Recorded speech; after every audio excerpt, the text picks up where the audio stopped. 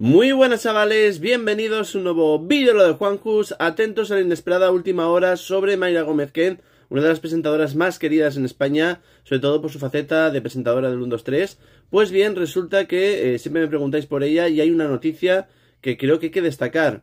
Resulta que Antena 3, a través de la plataforma de A3 Player, ha rescatado el primer ruleta de la fortuna de Mayra. Ya sabéis que tienen los derechos del tema de la Ruta de la Suerte y han querido rescatar eh, este, este primer programa, esta primera temporada de la ruleta con, con Antena 3 y que presentaba esta mítica presentadora, ¿no? Yo creo que es una oportunidad de oro para disfrutarlo y para recordar esa etapa. ¿Vosotros qué pensáis de estas cosas? Ojalá se rescaten más programas de Mayra Gómez Kem. Comentad, opinad, suscribiros, beso enorme de corazón y chao chao.